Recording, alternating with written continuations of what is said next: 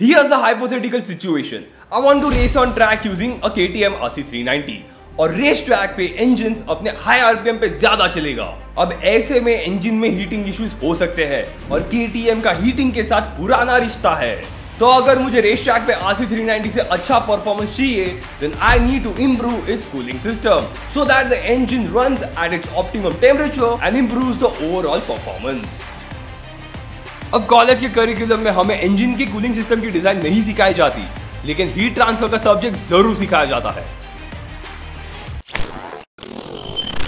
अब इंजन का cooling system improve करना है तो हमें यह पता होना चाहिए कि इंजन में से कितनी हीट निकालनी होगी, जो हम इजीली उसके पावर आउटपुट और एफिशिएंसी के बेसिस पे कैलकुलेट कर सकते हैं। अब हम चाहे तो इंजन के एफिशिएंसी को अज्यूम करके ये हीट लोड कैलकुलेट कर सकते हैं।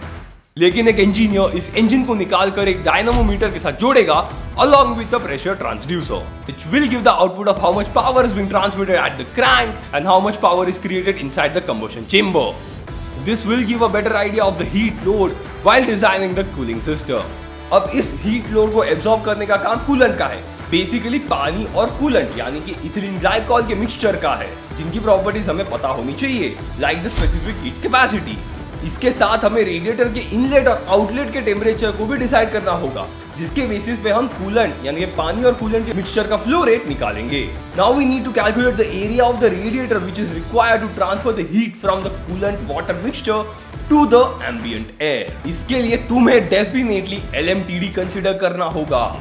Which will require you to consider the inlet and the outlet temperature of the ambient air as well. क्योंकि इन्हीं टेम्परेचर की वैल्यूज़ के बेसिस पे LMTD निकाला जाएगा। अब रेडिएटर का एरिया तो मिल गया। By the way this area is actually the area of the small tubes जिसके थ्रू पानी और कूलेंट का मिक्सचर फ्लो होगा। From this overall area you can calculate the number of tubes required in the radiator and thus the dimension of the radiator as well यहाँ पे तुम पुराने radiator के पाइप्स की डिमेंशन निकाल कर उसमें थोड़े बहुत चेंजेस करके अपने नए रेडिएटर का डिज़ाइन बना सकते हो based on the area that you calculated अब तुम चाहो तो कितना भी बड़ा रेडिएटर बना लो with more number of tubes for the water and coolant to flow through लेकिन अगर ये वाटर और कूलेंट का मिक्सचर ज़्यादा ही ठंडा हो गया तो काफ़ी दिक्कतें होंगी, क्योंकि फिर इंजन अपने ऑप्टिमम टेम्परेचर से ज़्यादा ठंडा चलेगा which will lead to incomplete combustion resulting into higher carbon monoxide and hydrocarbon emissions लेकिन अगर रेडिएटर के आउटलेट पे कूलेंट का टेम्परेचर ज़्यादा कम नहीं होगा मतलब बेसिकली इनलेट और आउटलेट में ज़्यादा डिफरेंस नहीं होगा तो कूलेंट इजीली इंजन में से हीट एब्जॉर्ब नहीं करेगा और इंजन वैसे ही गर्म होता जाएगा leading to detonation preignition and higher NOx emissions race focus vehicles में engine majority time high RPM पे ही चलेगा। इसीलिए स्टॉक इंजन के कंपैरिजन में रेस फोकस इंजन को हम थोड़े ठंडे टेम्परेचर रेंज में चलाए तो ही बेहतर होगा। This working temperature will give you a better idea कि रेडिएटर में से निकलते वक्त कूलेंट का टेम्परेचर कितना होना चाहिए। और ऐसे में अगर थर्मोस्टैट भी थोड़े लोअर टेम्परेचर पे ओपन हो तो बेहतर होगा।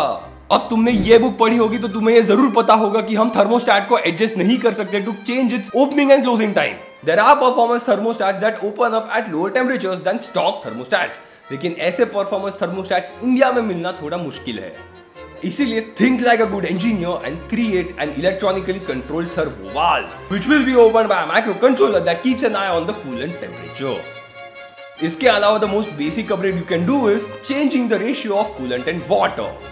coolant और वाटर की अलग अलग स्पेसिफिक हीट कैपेसिटी होती है. The higher the number the better because it will absorb heat easily लेकिन हम सिंपली पानी यूज़ नहीं कर सकते because lots of reasons That's why changing the ratio of water and coolant will allow you to achieve better specific heat capacity, जो तुम weighted average की formula की मदद से calculate कर सकते हो Yes, designing such systems is a vicious circle. एक पैरामीटर बदलोगे तो दूसरे पे इफ़ेक्ट होगा लेकिन कहीं पर तो हमें शुरू करना होगा ना एक लास्ट बात तो बताना भूल ही गया मैं कूलिंग सिस्टम में कितने लीटर का पानी और कूलेंट यूज़ होगा ये कैलकुलेट करने के लिए तुम्हें रेडिएटर इंजन के कूलिंग जैकेट्स और होस पाइप्स के वॉल्यूम को ऐड करना होगा। इनके साथ थोड़े मिसलिनियस वॉल्यूम भी ऐड कर देना, क्योंकि रिज़र्व वायर में एक्सपांशन के लिए भी जगह होनी चाहिए।